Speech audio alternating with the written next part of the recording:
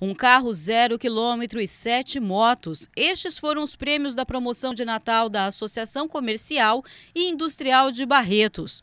O sorteio foi realizado na manhã de terça-feira no Calçadão, em frente à CIB, com a presença de diretores da associação, lojistas e consumidores. Os cupons de cada região foram espalhados e os contemplados por ordem de sorteio foram Fabiana Batista Agnello, Zona Oeste. Lidiane Cristina Silva Reis, Zona Leste. Maria de Jesus Reis, Zona Sul.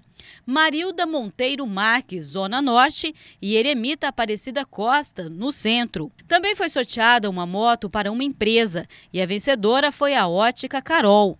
Por fim, foi sorteada uma moto para um vendedor e o prêmio saiu para Anderson, do Rio das Pedras. Para o sorteio mais esperado desta promoção, os cupons de todas as promoções do ano foram colocados no monte, num total de mais de 1 milhão e 300 mil cupons.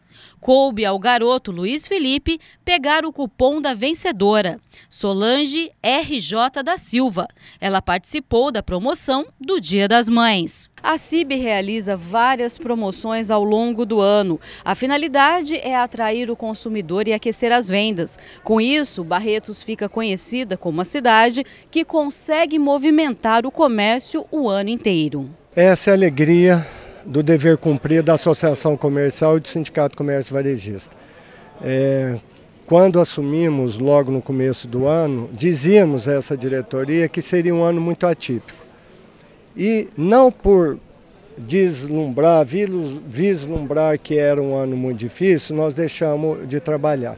Fizemos com afinco oito promoções, que hoje tem aqui mais de 1 milhão e 300 mil cupons, faz com que a gente fica feliz que os empresários, são 178 empresas que acreditaram no nosso trabalho e os consumidores já têm um hábito é, de vir fazer o consumo e pegar seu cupom e acreditar que ele possa ser sorteado. Então essa é a nossa alegria do dever cumprido, do consumidor satisfeito, do empresário acreditando que nós estamos aqui para fazer o que nós sabemos fazer de melhor e fazer esse fechamento maravilhoso.